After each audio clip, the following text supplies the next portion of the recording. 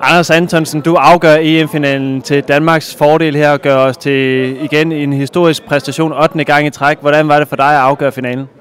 Det var øh, rigtig fedt. Øhm, det er altid sjovt at spille landskamp, og en situation som det der, hvor man kan afgøre det hele, er, er rigtig, rigtig skæg. Så øh, det var fedt, og jeg er glad for øh, min performance. Jeg fik det kørt rimelig sikkert hjem.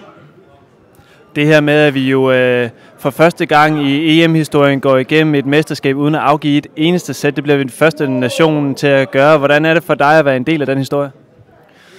Jamen, det er jo egentlig vildt nok, når man lige tænker på det. Øhm, det, det, er, det, det er jo en kæmpe præstation, altså super, super overlænt, og viser bare, at vi har et vildt stærkt og bredt hold. Øhm, så ja, det er jeg super stolt over. Øh, det, er, det er virkelig stærkt. Jeg ved godt, at det måske kan være svært at sammenligne et EM for herrehold med det, der venter i maj måned Thomas Cup på hjemmebane, men stadigvæk, den uge, du har været igennem nu med øh, holdet og den performance, jeg alligevel har leveret, giver det forhåbning om, at der kan være et øh, stort resultat i vente i mig?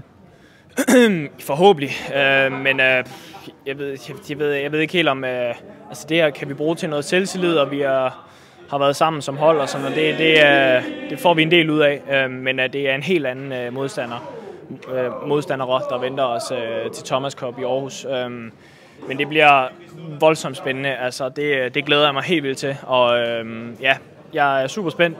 Lad os se, hvad, hvad det bringer, men øh, det bliver sjovt.